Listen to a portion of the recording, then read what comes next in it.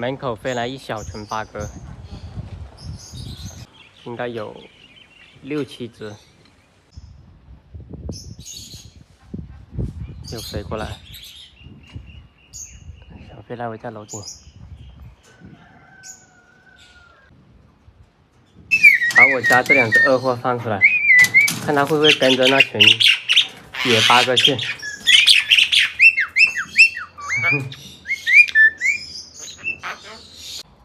有吃的要不要？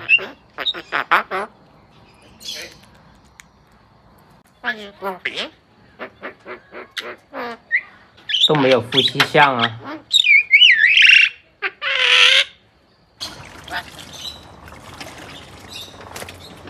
出来就想洗澡，一脚踩死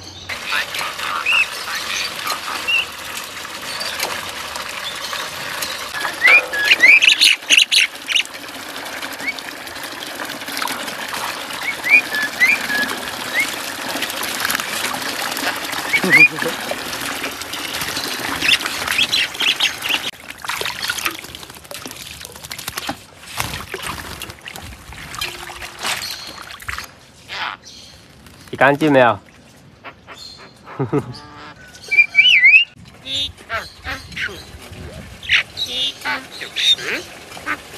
六呢？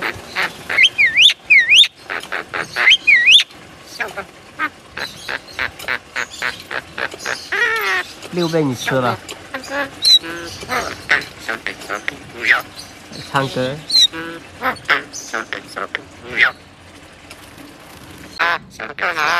今年的八哥马上进入繁殖期了，有网友问，怎么样挑选一只好的幼鸟？如果是教说话的话，我建议大家养一只公鸟，因为公鸟的说话能力比母鸟强很多。公鸟它说话声音比母鸟会大很多，还自带磁性的。如果是教说话，必须选择一只公鸟，从十五到二十五天大开始养是最好的。这时候的鸟，它的抵抗能力已经很强了，没有那么容易生病了，很好饲养。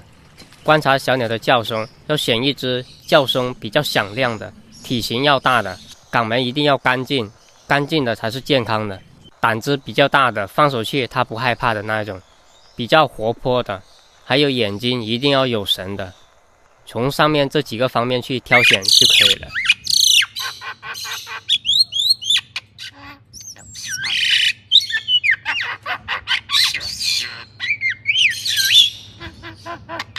唱歌啊，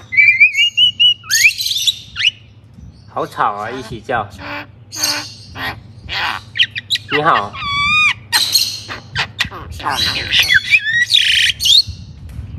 进去了。